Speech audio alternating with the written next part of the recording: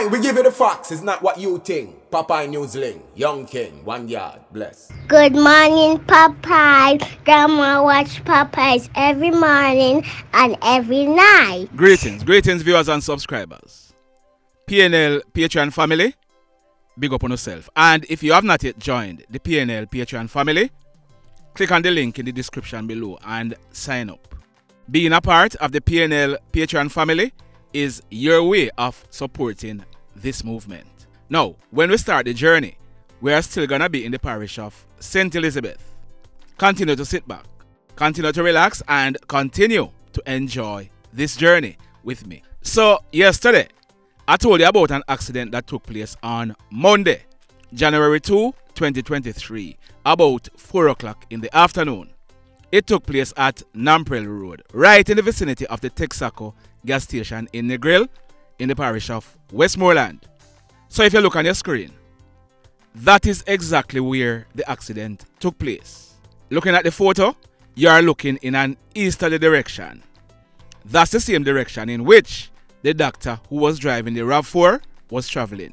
If you notice, the cones are all on the right side of the road, the side where the accident took place. Like I said yesterday, the young female doctor, without due care and attention, she overtook a vehicle that was traveling in front of her. If you look at your screen now, that is a photograph of the Toyota RAV4 that the young doctor was driving. You see the point of impact? Now, on your screen is what is left of the green Covia motorcycle that 19 year old Giovanni Gordon was riding. Also, it has been confirmed that Giovanni Gordon, he died. As a matter of fact, he died from the said evening of the accident. Monday, January 2, 2022, about 6.30. So, the young doctor, she is now facing a charge of manslaughter or causing death by dangerous driving. This was straight carelessness, and I am hoping that the doctor face the full force of the law. Condolences to Giovanni's family. Also, yesterday, I told you about an accident that claimed the life of a JDF soldier. I told you that the details were sketchy, so I did some digging and I'm gonna tell you exactly how this accident took place. But first, but first, my nice, clean students of medicine. Thank you. The word is aorta, not the word I used yesterday. My viewers, my subscribers, there is a lesson to be learned here. The lesson is whenever we are doing a research, check with more than one source. The mistake I made yesterday was that I used the first source that I found. So it's not like I made up the word. So the correct word is aorta. I hope I pronounced it correctly. Secondly, I asked, well, someone said I insinuated that none was done, but I did no such thing. However, if you thought I was insinuating, that's your interpretation. The questions I asked were 1. Was any x ray done on Private Morris? And 2. Wouldn't an x ray show what was happening inside of him?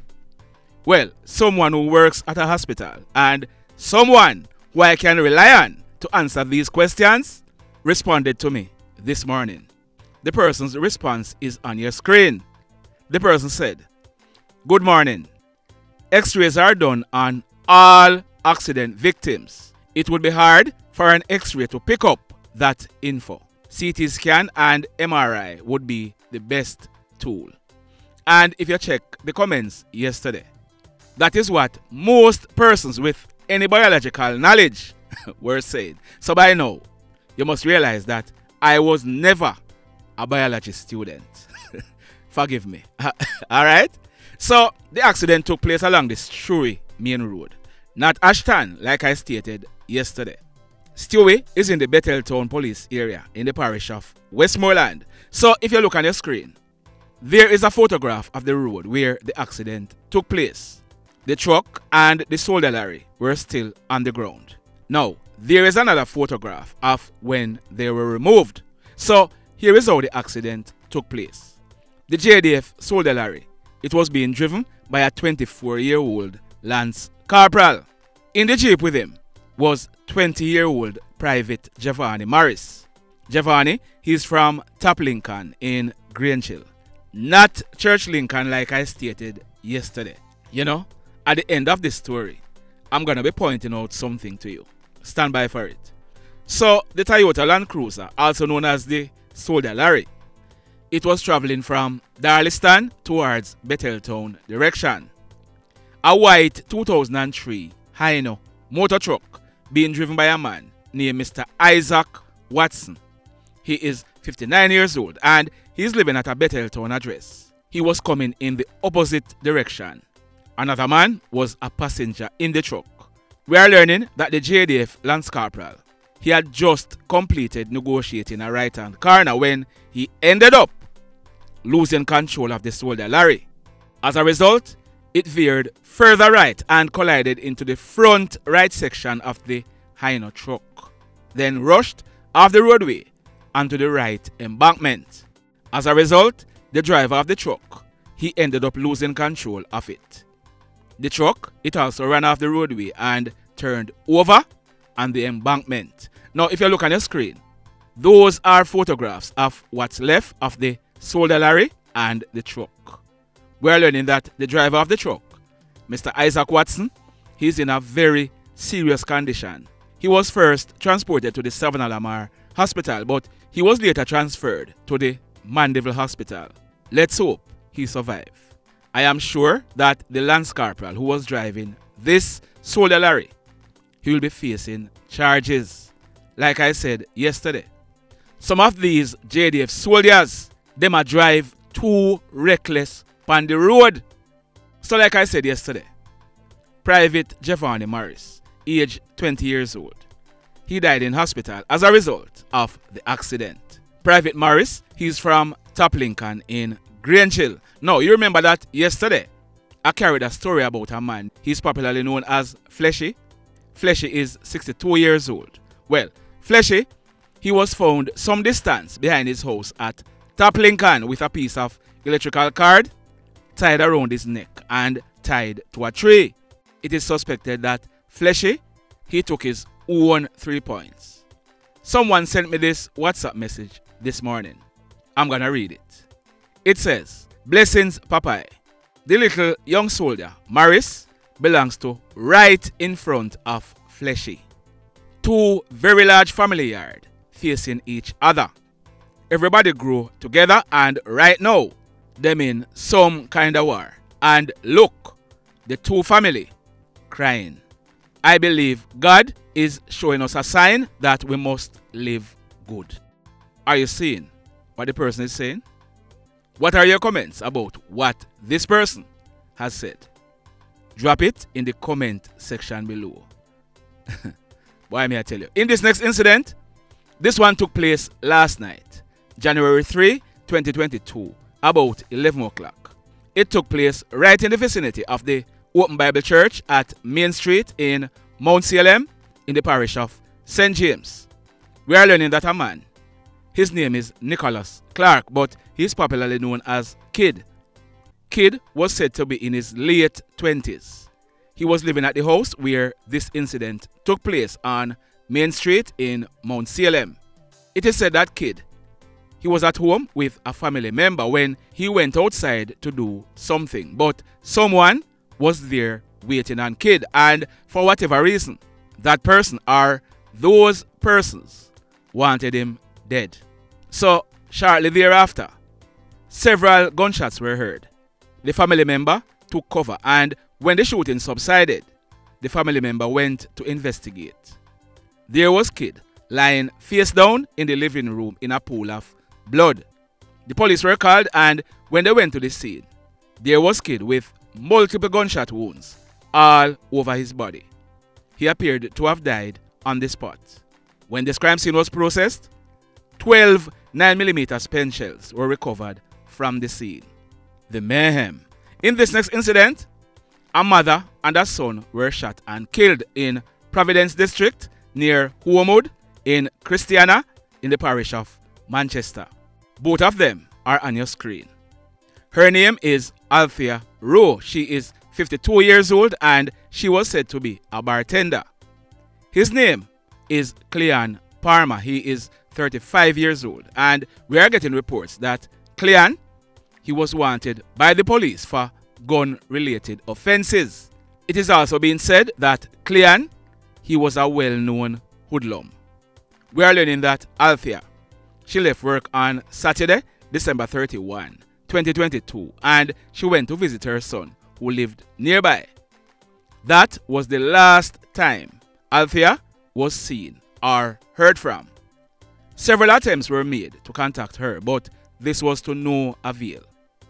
Yesterday, Tuesday, January 3, 2023, a concerned relative went to Cleon's home where Althea and Cleon they were seen lifeless and decomposing. The police were called and it was observed that both of them they had received gunshot wounds to their head and their upper body.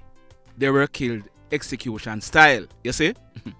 what you must realize, you know, what we must realize and appreciate is that whenever a hoodlum is wanted by the police, most likely he's also wanted by other hoodlums. You agree or you disagree? No, I don't know whether or not Cleon's mother, Althea, supported her son's criminal lifestyle, but whoever it was that came for her son, they decided that Althea, the mother, is going with him. Sad indeed. The mayhem. The may so let me ask you something. let me ask you something. Are you tired of hearing about the killings taking place in Jamaica? Are you tired of the killings that are taking place in Jamaica? You are? So, my question to you is what are you doing for it to stop? Are you reporting suspicious activities to the relevant authorities? Do you know or have suspicions as to where an illegal gun or illegal guns are being hidden? Have you reported it or are you seeing no evil and hearing no evil? Are you afraid to give information to the police? What? Are you afraid to give them information and them go back go tell the hoodlums? But guess what? The police don't have to know who is giving the information. You can call 119. You can call 311. The JDF, the Jamaica Defense Force, they also have a tip line. You can call or WhatsApp them. The number is 876 837 8888. That's 876 837 8888. You see, if you are sitting down and waiting for outsiders to come to Jamaica, come solve our problems, that will never happen. The FBI or Scotland Yard, they have no jurisdiction over Jamaica or Jamaicans in Jamaica. Let's all play our part. And remember, remember, hit on the love button. Also, if you have not yet subscribed, hit on the subscribe button. As also, hit on the notification bell.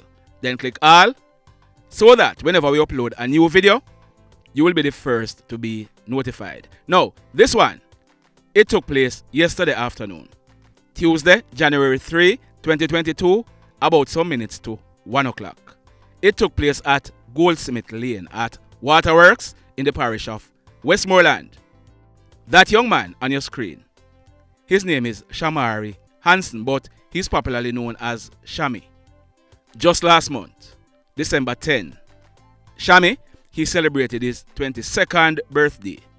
He lived at Goldsmith Lane, Waterworks in the parish of Westmoreland. Now, this is what we are learning, and what I'm gonna be reporting are the allegations by the police. Alright? The police are saying that they were on patrol in the area when they saw Shami walking towards them in the opposite direction. They are saying that Shami, he looked in their direction and he ran off. The police are also saying that they chased Shami and he pulled a gun and opened gunfire at them. They are saying that they took evasive action and returned the fire. And Shami, he was shot and injured. They are also saying he was found clutching a Taurus 9mm pistol with the serial number intact, affixed with a magazine containing two rounds of 9mm cartridges. Shami, he was taken to the Savanna-la-Mar Public Hospital where he was pronounced DEAD. INDECOM are carrying out investigation. Now, I have seen where some persons they are saying that Shami he was a good youth and the police killed him in cold blood. If you have any information about what took place, contact INDECOM. Now, in the final story for today and in our next video, I will be updating this story. That man on your screen, his name is Horace McDermott. He was said to be in his 50s. Horace McDermott, he is a corporal of police. He has been in the police force for over 30 years and he has worked in the parish of Westmoreland all those years. Corporal McDermott, he was married. Well, I'm not sure if he divorced, but he and his wife, they separated many years ago. It is said that Corporal McDermott, he was living alone at Landilo in the parish of Westmoreland. I am also learning that he was on vacation leave. Corporal McDermott, he was watching some videos on Facebook and he was sharing them to his page. Five days ago, he shared a video, and this is how he captioned that video. If you look on your screen, it says, The causes of separation in a family, close relatives, friends, and associates. Four days ago, this was the caption for another video. I am sick of the season of sickness. Jesus, Jesus, Jesus. The last post he made on Facebook was made on New Year's Eve. It was captioned simply, Too much pain. We are told that Corporal McDermott, he usually get up early in the mornings and water his flowers, but he was not seen this morning watering them. As a result, a neighbor went to check on him. Corporal McDermott he was found with his licensed 9mm pistol in one hand and a cell phone in another hand. The police were informed, and like I told you, I'll be updating this story in another video because it's only preliminary reports that I'm getting so far. Corporal McDermott, he was shot, and it is suspected that he died from last night. Based on the police investigation so far, they are suspecting that Corporal McDermott might have taken his own life. Sad indeed. The mayhem continues. Blessed love, everybody. Tell a friend for tell a friend for tell a friend about Popeye NewzLynx and PNL Blog TV. Like, subscribe, and share. Quicksilver sing if we just unite. What a country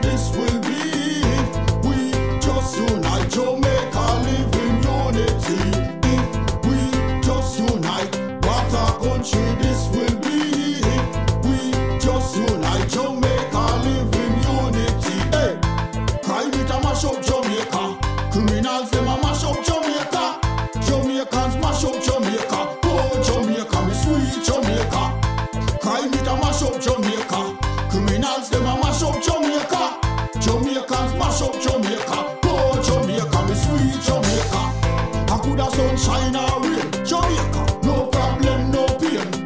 Rude boy them no out can't tame, but me want me country back. Give me me country back. To the street and the lane. Everybody them start complain. Bloodshed, what a shame, what a shame. But me want me country back. Give me me country back. Crime it a mash up Jamaica. Criminals